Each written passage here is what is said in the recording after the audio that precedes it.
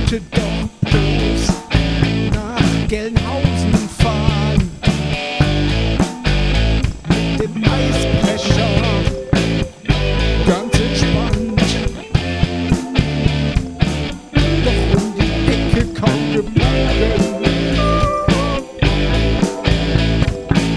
Ist mir fast hinten alles weggeflogen,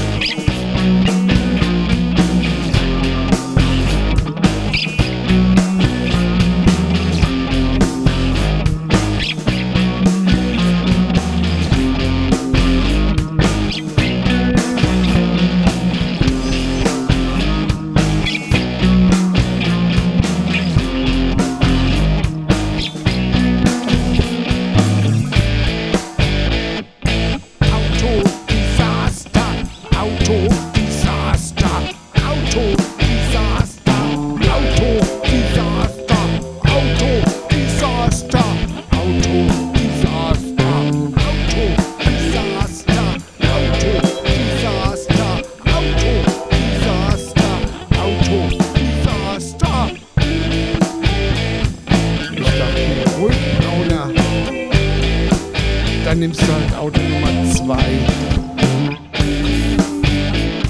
Stieg ein, der Schlüssel steckte fein. Umgedreht, nichts geschah.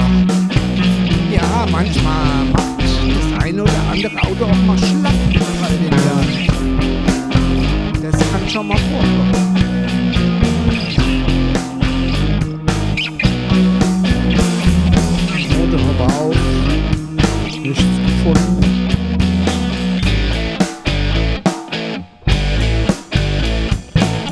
tall